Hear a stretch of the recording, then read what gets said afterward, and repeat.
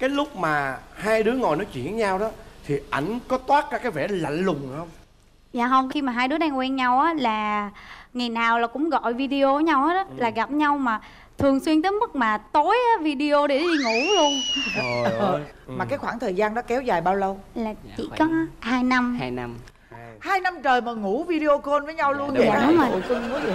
Thì sau thì sau hai năm đó là được biết là Choi à, đi du học bên Mỹ thì Chia tay năm bốn năm, đúng năm năm. sau. đúng 5 năm cái khoảng thời gian đó là lúc chuẩn bị hè là em chuẩn bị về thăm gia đình á Ừ.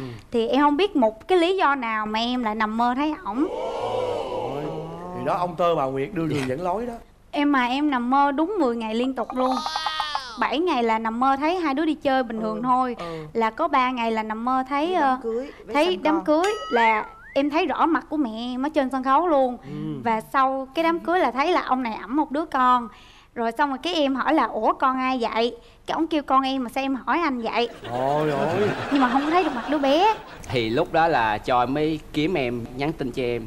Đó mấy hai đứa mới nói chuyện xong rồi cho mới kể à, là nằm mơ vậy mơ đó như vậy đó ừ. Nhưng mà lúc đó là hai đứa đã có người yêu chưa cái lúc trong thời gian của mình là em không có quen ai hết. Ừ. Ừ. lúc mà Choi kiếm tính em á là lúc đó em đang độc thân luôn. À. Là may mắn như vậy. Bao lâu thì em mới dẫn à, tâm á à, chính thức ra mắt gia đình của mình? Không là cái lúc em nhắn tin là mẹ biết là mẹ biết là đang có tình yêu mới tại vì nhìn mặt vui lắm lúc nào cũng nhắn tin hoài. Mời hai em giới thiệu về mình Em xin chào chị Hồng Vân và chào anh Quốc Thuận. Đó. À, em tên là Nguyễn Phúc Thành Tâm thì năm nay em à, 23 tuổi. Em đến từ thành phố Hồ Chí Minh. Dạ hiện tại hai vợ chồng em đang làm à, YouTube và kinh doanh à, thời trang. à, youtube như là mảng gì em Dạ mảng về à, gia đình và cuộc sống hàng ngày của thì vậy hả Dạ. à, Dạ. à, mời em em chào cô em chào Em chào kỳ rồi kỳ. chị Hồng Vân và anh Quốc Thuận. Rồi em tên là Phạm Trường Nguyễn Minh Anh. À. à, em năm nay 21 tuổi. Trời ơi mình thấy chưa? 21 tuổi hả? 21 nhỏ nhỏ xíu à Trời trời ạ. Ủa anh anh thấy hai em rất là quen nha. Có một cái đám cưới nó rất là ừ, nổi bật trên các trang mạng truyền thông đúng không? Dạ thì cách đây à, một năm. một năm. Tôi có coi đó mà tôi không có được đi dự đó. Mà cái tiệc cưới đó ta nói là rất là nhiều các nghệ sĩ ca sĩ nổi tiếng đúng không Dạ đúng, đúng rồi. khai thiệt đi khai thiệt đi. Xuất xứ của cô là con của ai? Dạ con là con là con của ờ, ba Minh. Bà Minh. Ba minh nhựa đúng không? Dạ đúng rồi. Dạ. Rồi bây giờ kể cho anh Thuận nghe coi. Hai đứa lần đầu tiên gặp nhau và có điều gì ấn tượng với cái người bạn mà đối diện với mình thì anh Quân kể ờ, anh kể 5 năm trước đi Dạ thì năm năm trước anh kể chuyện 5 năm trước hả năm là Ghê thật. lúc đó mới 18 tuổi chàng trai 18 lúc đó là em chưa 18 đúng Dạ, không lúc đó chưa? là em còn đi học giữa năm 11 và năm 12 Ừ. à. thì em có quen à, Minh Anh trên Trời. Facebook thì hai đứa mới à, hẹn hò gặp nhau. Lúc đầu là gia đình cho chỉ cho em đứng ở ngoài thôi. Ngoài hàng rào hả hay dạ, gì? ở ngoài cửa ở, ở, ở, ở trước cửa nhà là có bảo vệ đứng canh luôn. Trời ơi! Sợ em làm gì xấu. Mà lúc đó Dạ. em đi bằng gì nè? Dạ em đi à, xe máy chiếc uh, cúp 50 à, bình thường á. Rồi sao dạ sau khoảng một hai tuần kiểu thấy em cũng hay qua lại. Với vậy đứng buổi tối ở ngoài thì cũng hơi nguy hiểm á nên bà nội của Choi mới cho em vô nhà là chỉ cho ngồi ở dưới thôi. Cứ như vậy là cứ quen hai năm trời. Nh- nhưng mà hỏi cho nè dạ. em ấn tượng gì với bạn này mà là em lại lại lại đồng ý quen bạn này? Dạ lúc đó là qua Facebook thì nhìn bạn này kiểu như là khi mà mình nhìn cái mình muốn phải nói chuyện liền. Lúc mà nói chuyện thì cũng hơi lạnh lùng á mà em thì em thích ờ, tiếp người là lạnh lùng càng lạnh lùng thì mình càng muốn phải có được. Ồ, là lúc đó chị nói chuyện qua Facebook thôi. Dạ đúng rồi. Rồi xong đến cái hôm mà gặp mặt ở ngoài đời á Thì cái Dạ. ấn cái cảm xúc đó còn không? dạ vẫn còn. Giống như là cái cảm xúc mà bây giờ khi mà mới gặp lại cũng vậy. Vậy hả? dạ. Nhưng mà là anh muốn biết là cái lúc mà hai đứa ngồi nói chuyện với nhau đó thì ảnh có toát ra cái vẻ lạnh lùng không? Dạ không khi mà hai đứa đang quen nhau á là ngày nào là cũng gọi video với nhau hết á là gặp nhau mà thường xuyên tới mức mà tối á, video để đi ngủ luôn trời ơi Mà cái khoảng thời gian đó kéo dài bao lâu? là Dạ, chỉ khoảng- có hai năm hai năm Hai năm trời mà ngủ video call với nhau Dạ, luôn đúng vậy rồi. hả? Đúng rồi. Ôi, cưng quá vậy thì sau thì sau hai năm đó là được biết là Choi à, đi du học bên Mỹ thì Chia tay năm bốn năm, đúng năm năm. sau. đúng 5 năm cái khoảng thời gian đó là lúc chuẩn bị hè là em chuẩn bị về thăm gia đình á Ừ. thì em không biết một cái lý do nào mà em lại nằm mơ thấy ổng đó ông tơ bà nguyệt đưa đường dẫn lối đó. Em mà em nằm mơ đúng 10 ngày liên tục luôn. 7 ngày là nằm mơ thấy hai đứa đi chơi bình thường thôi. ừ. là có 3 ngày là nằm mơ thấy ờ, đám cưới với thấy đám con. cưới là em thấy rõ mặt của mẹ em ở trên sân khấu luôn. Ừ. và sau cái đám cưới là thấy là ông này ẵm một đứa con. Rồi xong rồi cái em hỏi là ủa con ai vậy? Cái ông kêu con em mà sao em hỏi anh vậy? Ôi ôi nhưng mà không có thấy được mặt đứa bé. Thì lúc đó là choi mới kiếm em nhắn tin cho em đó mấy hai đứa mới nói chuyện xong rồi cho mới kể à, là nằm đó. mơ vậy mơ á như vậy đó ừ. Nhưng mà lúc đó là hai đứa đã có người yêu chưa? Cái lúc trong thời gian của mình là em không có quen ai hết. Ừ. Ừ. lúc mà choi kiếm tính em á là lúc đó em đang độc thân luôn. À. Là may mắn như vậy. Bao lâu thì em mới dẫn à, tâm á à, chính thức ra mắt gia đình của mình? Không là cái lúc em nhắn tin là mẹ biết là mẹ biết là đang có tình yêu mới tại vì nhìn mặt vui lắm lúc nào cũng nhắn tin hoài à. Cái mẹ mới hỏi là quen ai vậy cái em mới kể là à, tâm. Con vẫn quen người đó Là à đình Cái xong mẹ biết- hỏi là- biết à, biết em từ trước rồi. Ừ đó thì Dạ, biết đúng rồi. cái mẹ mới thấy là hai đứa quen nhau chắc cũng ờ, mấy tháng á. Xong mẹ mới kêu là thôi chắc đi chơi chung đi. Thì ờ, hai có đứa kể cho mẹ giấc mơ không? Dạ có. Rồi mẹ có thì mẹ không? mới kêu là giống như cái đó là một cái duyên. Duyên tiền kiếp đó. Đó. Duyên tiền kiếp. Bạn này chắc hồi kiếp trước đó đi mua nhựa.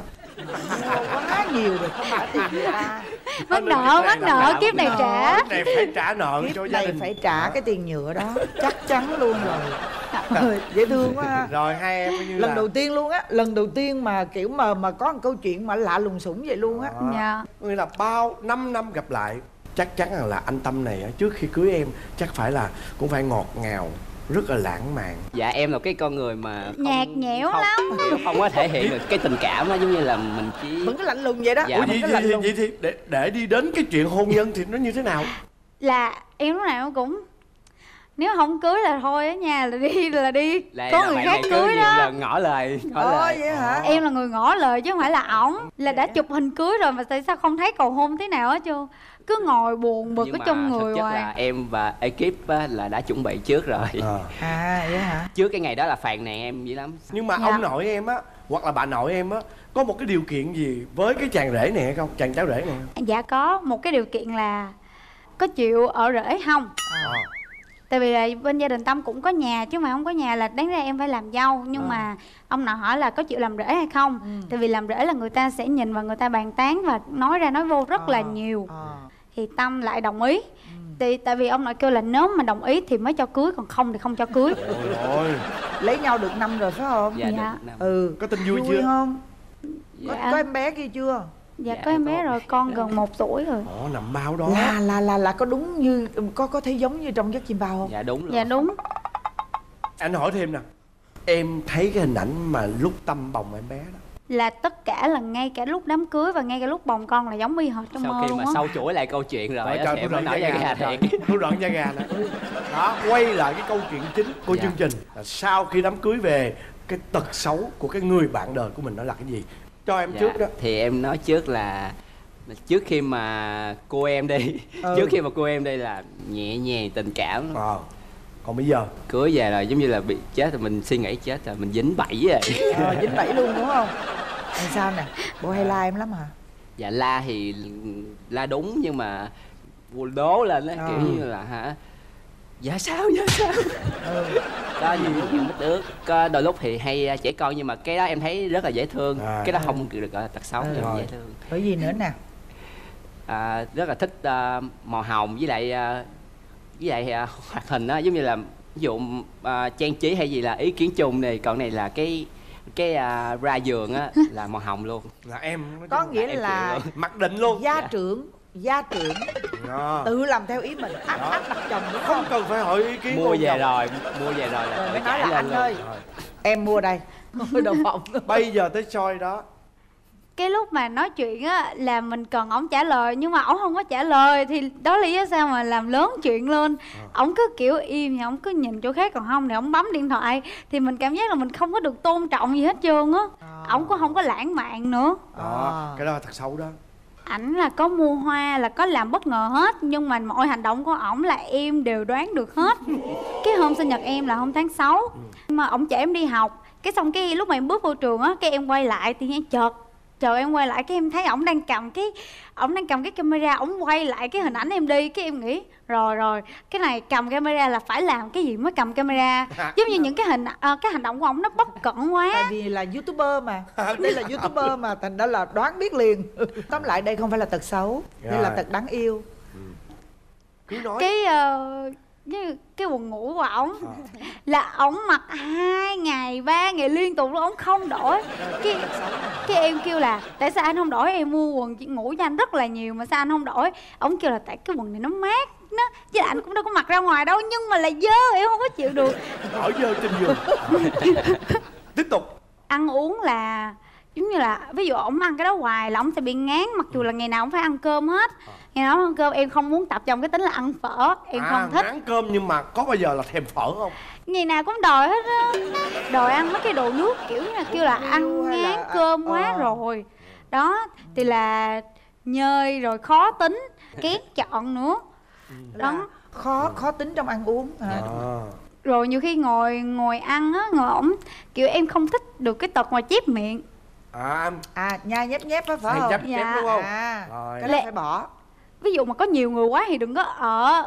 Nó kỳ lắm em không có chịu được. Nhiều khi đang ăn cái ở mà nó ở liên em nghĩ là ở thoải mái ở liên nhà thôi nó đã lắm ở em. nó thoải mái ở nhà nhưng mà chiều em đang ăn ngon cái ổng ở cái hết ngon rồi để đồ ăn xuống. Rồi anh hỏi này trong cái việc mà chăm con á dạ. thì tâm như thế nào? Không cái đó là không có nói tật xấu được luôn. Ổng chăm con là Rất số tuyệt vời, một luôn? Ờ, quá tốt. À, ừ. ok. Dạ. rồi Trên- bây giờ nè nhân đây chị à, muốn bạn tâm này thay đổi điều gì? Không có lạnh lùng. Không có mặc lại quần ngủ. Không mặc lại quần ngủ phải thay đổi. không được ở. Không được ở không được chép miệng. Nó nghĩa là anh có bao nhiêu tật xấu thay đổi hết đúng không? Dạ. Đó. rồi rồi tới tâm đó. Tâm. Đây là những mà những lời mà anh muốn em thay đổi là kiểu nhẹ nhàng hơn.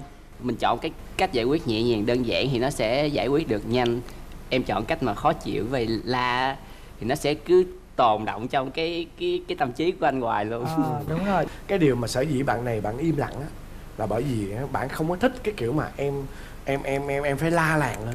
Cho nên thay vì ảnh cũng la lại nhưng mà ảnh sẽ chọn cách im lặng. Nhưng mà, im lặng cho qua. nhưng nhưng mà đối với Choi là em im lặng là em không tôn trọng. Ừ. còn cái lúc mà em nói á, thì kêu sao anh nói nhiều quá vậy? Em nói cho anh cãi cậu rồi còn thêm muốn thay đổi gì nữa không tâm? Dạ không. Nè nói nhiều thứ nè. Nói giống như là một người à, đi trước để nói cho Dạ. hai đứa ha. Tâm à, tâm tâm phải hiểu rằng á Joy là một cô bé là một người mẹ khi mà còn quá trẻ như vậy.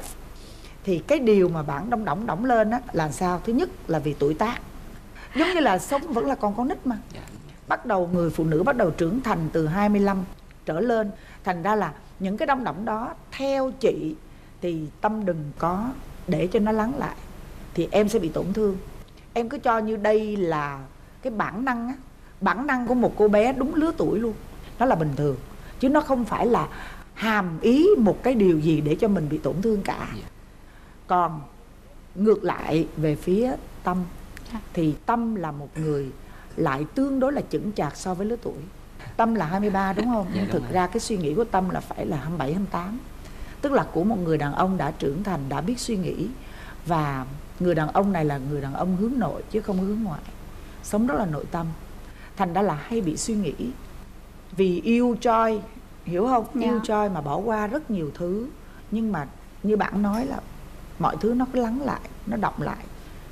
Và bạn sẽ rất là buồn. Thì khi mà bạn buồn á bạn không nói ra được á thì bạn sẽ có những cái biểu hiện từ từ nó sẽ bị tiêu cực với chính Dạ. bản thân mình Dạ. với tất cả mọi thứ xung quanh.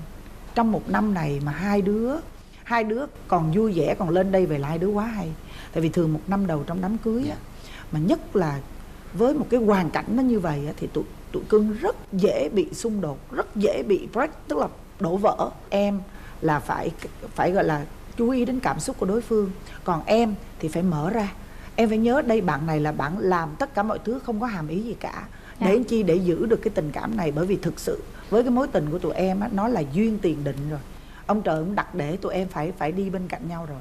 Và đặc biệt là phải yêu nhau nhiều hơn và để cùng chăm lo cho đứa con của mình. Nghe. Rồi xin Dạ. cảm ơn con gái em. nữa đó. Chừng nào Em mà cũng hy vọng nữa nhớ báo anh nghe. Dạ. Rồi, cảm ơn hai em đã đến với Dạ trường vợ chồng son